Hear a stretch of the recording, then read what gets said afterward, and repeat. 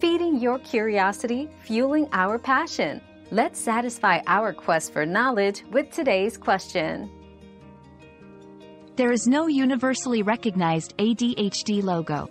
However, various organizations and advocacy groups may use their own symbols or logos to represent ADHD awareness.